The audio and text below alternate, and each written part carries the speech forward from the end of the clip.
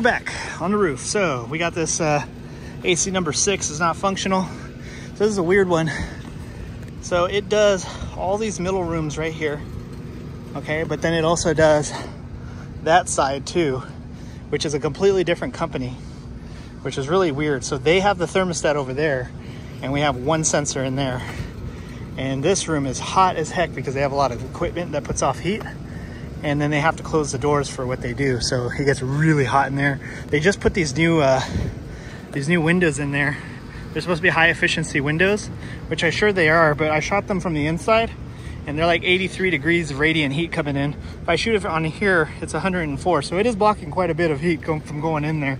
Probably be a lot hotter if it wasn't. Uh, so it is doing its job. But anyway, right now it's calling for cool. So I'm gonna verify it's calling for cool, but as you can see, it's not actually cooling, it's not doing anything. Um, it sounds like the uh, blower motor is running, but that's about it. So we're gonna verify we're receiving the call for cooling and then uh, we'll go from there. So here we go. All right, so we got her opened up. We're gonna go ahead and start with a visual inspection. So the contactor's not closed. This contactor is closed, but I think that controls the blower motor. Uh, we know the blower motor is running. Somebody went crazy with the turbos. And now we want to see if we're receiving a call for cooling, which we're gonna check between C and Y, one. So we do have our call.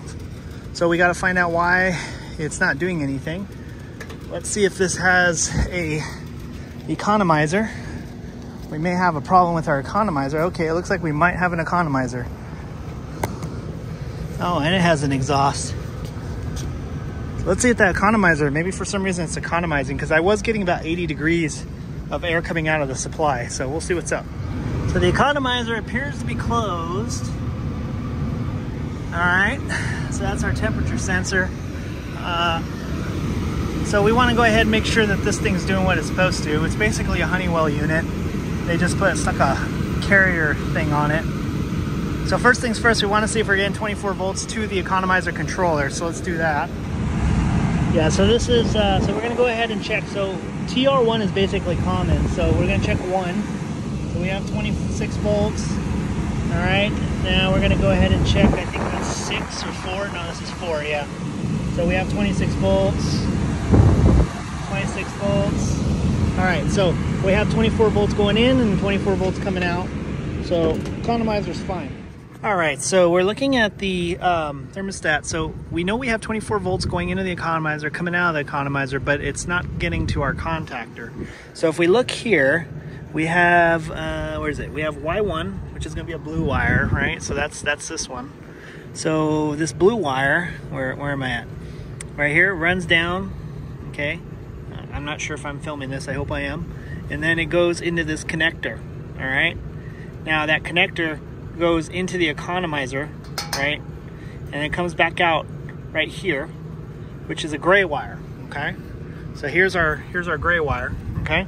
So our gray wire runs out here, and there's a connection point right here, and it connects to a black wire. So as you can see here, here's our gray going into our black.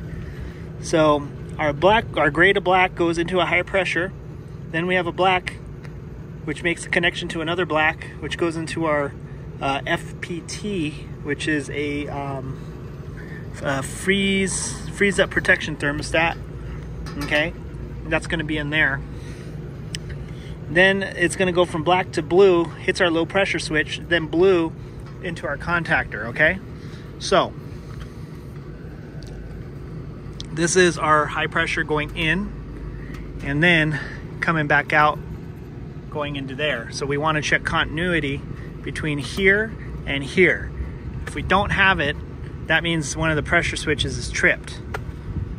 Yeah, or, or it could be the uh, freeze protection. But not all of these have that, so that might not even exist, but it could. So we need to see if this circuit is actually open or not. So let's do that. So I know I talk a lot of crap about engineers, but this old carrier unit, look at this. It has a hole here with a little cap that you can put back on. You know what the hole's there? Let's put your hoses on that way, when you're diagnosing this thing, you can put this panel back on because if, if I were to run this thing without this panel on, it's just gonna suck air through here. It's gonna bypass the coil and I'm not gonna get accurate readings. But an engineer actually thought about that and put a hole there with a little cap. The new carriers don't have that. I don't know why. Well, actually, I do know why because now all their condensers are on top, but yeah, but this was a great idea. I don't know why more manufacturers don't do this. That That's just like, it's a hole with a plastic cover. So when I'm done, I can pop this cover back on and it doesn't suck air through that hole.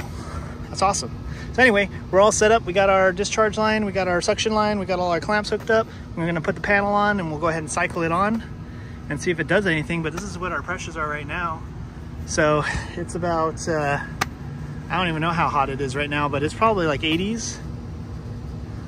So yeah, so I think the charge might be fine. We might have a bad sensor or something. I'm gonna see if I can find that uh, freeze stat if there is one, and then uh, we'll go from there. Well, I don't know if you can see that. Um, right there in that corner over there, right there where my finger is, there's a stat back there, or a freeze stat back there. So, yeah, um, belt looks okay. So, yeah. Anyway, uh, we're gonna go ahead and reconnect everything. We're gonna try to cycle it. Uh, what we'll probably end up do is bypass the whole safety circuit and see if I can get it to run that way and just see what the pressures do. Because uh, it could also be you know a high pressure situation and maybe the uh, maybe the uh, call it uh, the high pressure switch got stuck. Who knows? Or we could have high pre well no our pressures seem to be normal so it's probably a high pressure situation. Maybe uh, maybe our condenser fan motor failed uh, we don't know but let's see we'll try to cycle it and get it going see what's not working and go from there all right so I'm jumping R to Y1 and nothing's happening so what we're gonna do is we're gonna go ahead and we're gonna jump from Y1 straight to the contactor. So that's gonna be our 24 volt side, that's our common. So yeah, so be careful when you do this because you're doing it live. Um, but basically we're gonna bypass the safety circuit because I wanna see what's not working. Uh, but I wanna be able to let it run for a little bit. And then if anything goes crazy, I can just flip that. So here we go. Put one there carefully. All right. And then we want to go ahead and carefully stick one on Y1. Here we go. All right. So everything's turning on. So we got 35 on our suction, 218, but up. It is R22, so when it first turns on, it dips down and comes back up. So we'll let it run for a little bit, and see what's going on. But we might have a faulty uh, pressure switch somewhere. So we're gonna let it run for a little bit and see what it does once it stabilizes. So let's take a look here. Our condenser fan motor is at 1.4 amps, so that's good. Uh, compressor at 25 amps. I think that's normal for this unit. Uh, our pressures seem to have calmed down.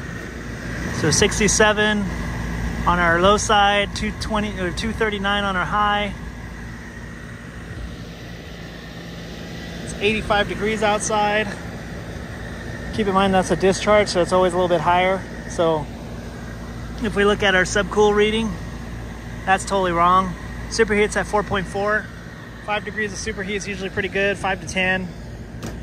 I think our charge is fine. We don't have a low pressure situation or a high pressure situation. So I'm thinking one of these switches has failed or not working. So now we gotta isolate it and figure out exactly which one's the problem. Fun, fun, fun. So we got three possibles. There's a low pressure, a high pressure, and then a, a what do you call it? A uh, um, freeze. So we gotta be able to, we gotta find these wires and isolate them. All right, so I've isolated this. So these go directly to our low pressure switch. So we're gonna check that. Uh, and then I gotta find the two blues, which is our high pressure, and then the two blacks going over there is gonna be our, our uh, stat. So let me go ahead and get this set up because I can't do it one-handed. Okay, so our low pressure switch is open. So, all right, so that could be our culprit. So we're gonna check the other ones and just make sure that they're not tripped too. If they are, we'll just take this one out of the circuit and go from there. Because we definitely know it's not a low pressure situation for sure. Okay, so now the blue wire is our high pressure switch. As you can see, we have continuity. So our low pressure switch is the culprit, okay? Okay, so we're gonna start from this point. So this goes to high pressure. High pressure comes back, goes into defrost, or, or uh, what do you call it, freeze stat. Freeze stat goes into freeze stat, comes back, and then goes back into gray which goes to economizer, which comes connects to blue and then goes to Y. So these two wires here are our low pressure switch, so they are now out of the circuit. All right, so now when I cycle this, I'm jumping uh, R to Y. Contactor should close if I have this wired properly. So yeah, here we go. Fire in the hole. Yep, there she goes. All right, cool. So we'll come back with a low pressure switch to install and we'll put it back in the circuit. Sweet. The question is, is why did we have, uh, why did our low pressure switch trip? So for some reason it tripped and uh, just got stuck and never reset.